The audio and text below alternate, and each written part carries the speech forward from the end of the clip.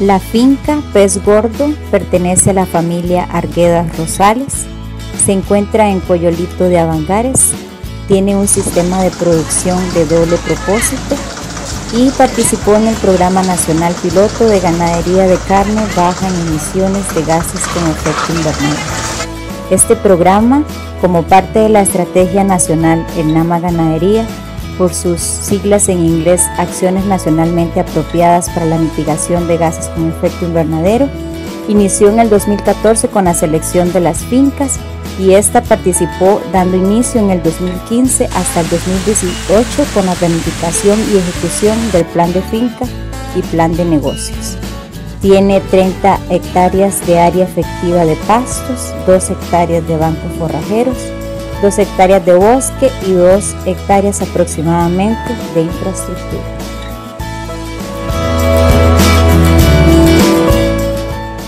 Conozcamos la finca Pez Gordo.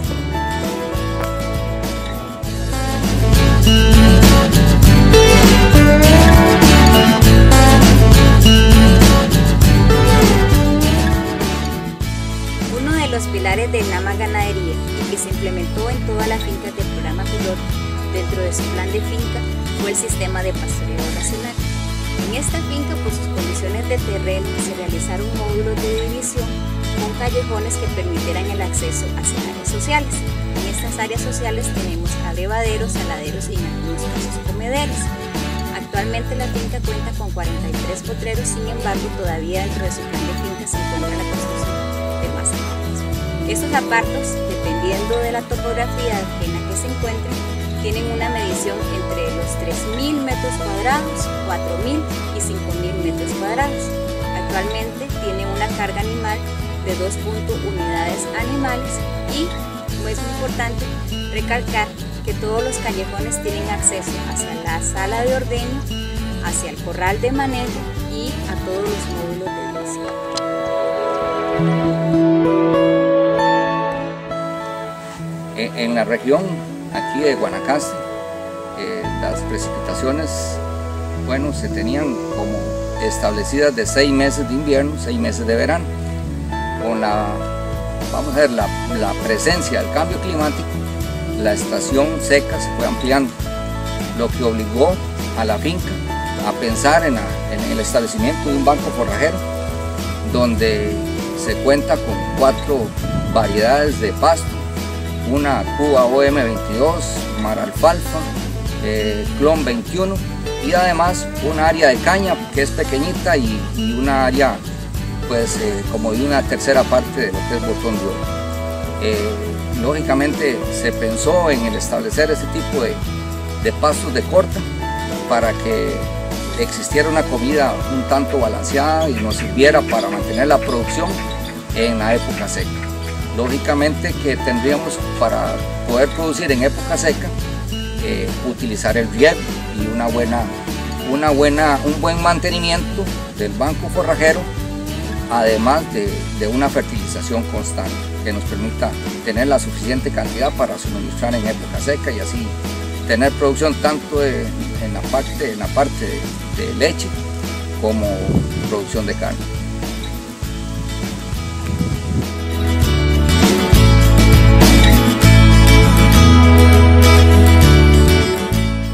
La parte hídrica con que cuenta la finca tenemos un pozo artesanal con una profundidad de 14 metros y es impulsado por un módulo de panel solar que fue donado por el Ministerio de Agricultura y Ganadería y un centro de cargas. Esta agua la llevamos a la parte más alta con que cuenta la finca, donde almacenamos 16 mil litros en cuatro tanques. Esa agua viene para distribuirla a la lechería de la finca, a la casa, a los apartos con que cuenta la finca y un banco forrajero que sirve para riego.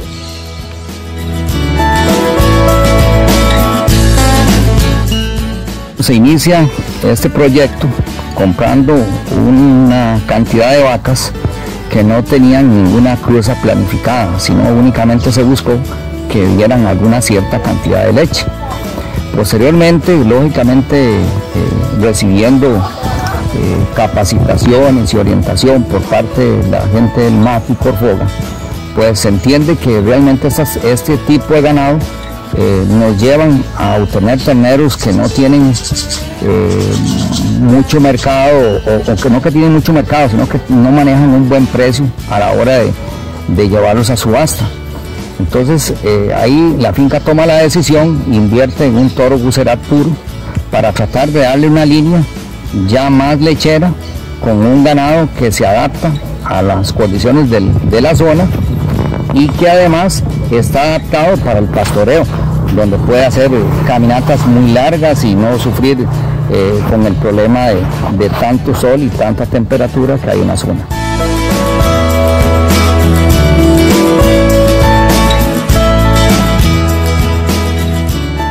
Una vez que, digamos, se termina eh, todo el proceso, los terneros quedan junto con las vacas. Ahí permanecen como más o menos hasta las 9 de la mañana con ellas donde ellas van a, digamos, a terminar de amamantar a sus terneros con los poquitos de leche que le quedaron o las posteras que bajen. Eso es todos los días y, de esa manera pues se protege la vaca para que no le vaya a dar enfermedades como la mastitis, porque el ternero va a recoger el resto de leche que quedó en la ubre y además con su saliva pues sella las tetas. Adicionalmente los terneritos también cuentan con un banquito forrajero pequeño que está pegado al corral donde ellos pues van a estar durante el día.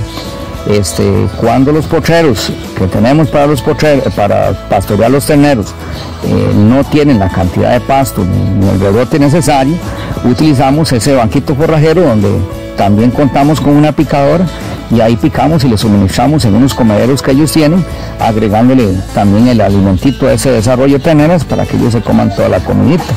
Eso es parte, digamos, de, todos los días de la finca.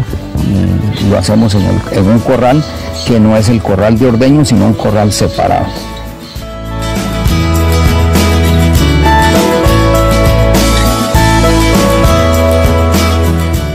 A nivel de nuestra finca, digamos, nosotros una vez que recogemos el ganado, que es tipo 4 de la mañana, lo, desplazamos hasta, hasta los corrales, donde vamos a ver, se custodian las vacas antes de empezar el proceso del ordeño.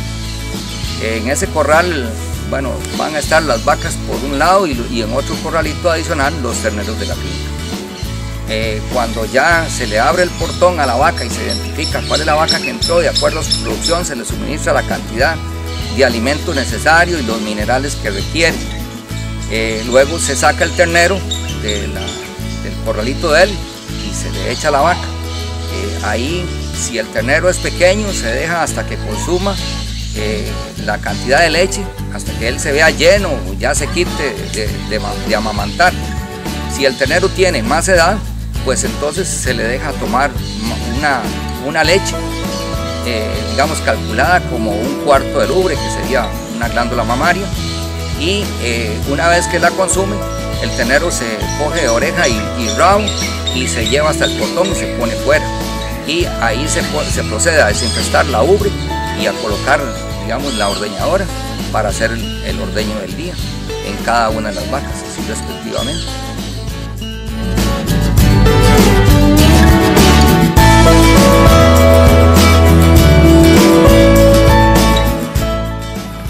La finca cuenta con registros individual registro de rastreabilidad, registro contable, registro de producción de leche, registro de producto final, que en ese caso sería los kilos de quesos diarios, y registro de labores. En el registro individual anotamos fecha de sincronización de la vaca, fecha de, la monta o fecha de palpación.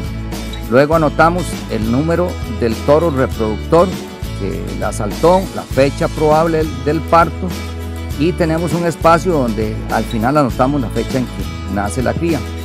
Una vez que nace la cría, también vamos a anotar el sexo, el número de la cría y el peso al nacer. En cuanto a los registros, digamos, individuales, podemos determinar que la finca tiene eh, una, una parición promedio de un 85%.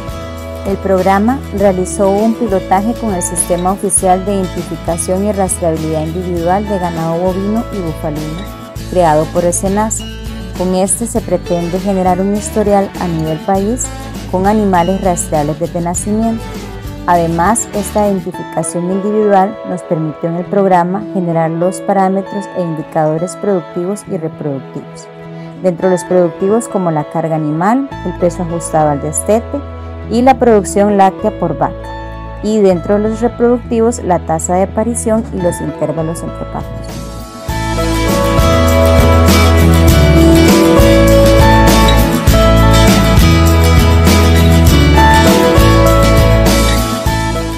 de negocios de mi finca es la venta de terneros y producción de queso fresco. Este queso es etiquetado, o sea que cumple con todas las exigencias de SENASA, el cual vendemos un 35% directamente aquí en la finca a consumidores locales y el resto lo distribuimos en supermercados eh, muy cercanos de aquí de la finca, eh, abarcando eh, lo que son zonas como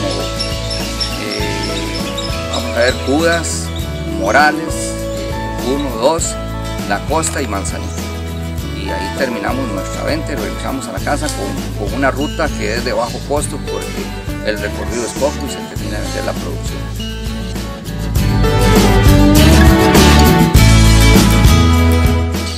Actualmente la finca la tenemos en el programa Bandera Azul Ecológica lo que buscamos es darle un plus, ya que la finca se dedica a la producción de queso fresco para la venta. También la idea es que eh, podamos capacitar a los niños de las escuelas, también a los vecinos, a los productores de la localidad. Hemos implementado en las buenas prácticas agrícolas la siembra de, cercas vivas, también recogemos las excretas del ganado, del corral, para después almacenarlo y distribuirlo a los pastos de corta, a los pastos de piso.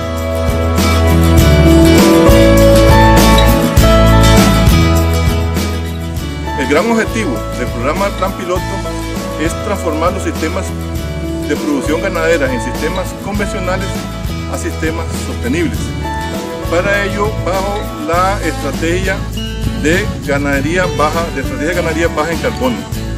Para, para implementar esta estrategia se utiliza una herramienta que es el NAMA Ganadería, que tiene cuatro grandes objetivos. El primer objetivo es mayor productividad en la finca. Un segundo objetivo es más rentabilidad.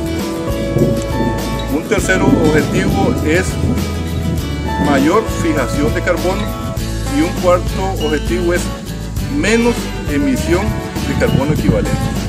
Para mejorar la fijación de carbono en la finca debemos implementar tecnologías como el sistema de pastoreo racional, también el uso de bancos forrajeros. Otra práctica importante para manejar eh, la fijación de carbono es la, siembra de árboles dispersos en posteros, eh, prácticas como cercas vivas, eh, como bosques secundarios. Por otro lado, para reducir las emisiones debemos de mejorar la calidad del alimento del ganado para reducir la fermentación entérica de, la, de las vacas o, del ganado en general. Debemos hacer un manejo, un manejo adecuado de las excretas. En el caso de esta finca, las excretas son incorporadas al banco forrajero. Eh, también en esta finca usamos, tenemos el uso de energías limpias para el bombeo del agua.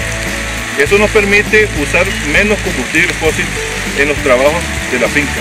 Eso nos ayuda a reducir las emisiones de carbono. Esta transformación de los sistemas de ganadería no se puede lograr sin dos aportes importantes. Uno es, y el principal, el de la familia productora. Ellos tienen que tener una actitud dispuesta y abierta al cambio. El otro es que tiene que ir con un acompañamiento técnico y un buen equipo de trabajo. Si unimos un productor con actitud positiva y un buen equipo de trabajo, logramos así obtener un buen plan de finca con objetivos bien definidos y eso nos lleva a la transformación que se desea de la finca.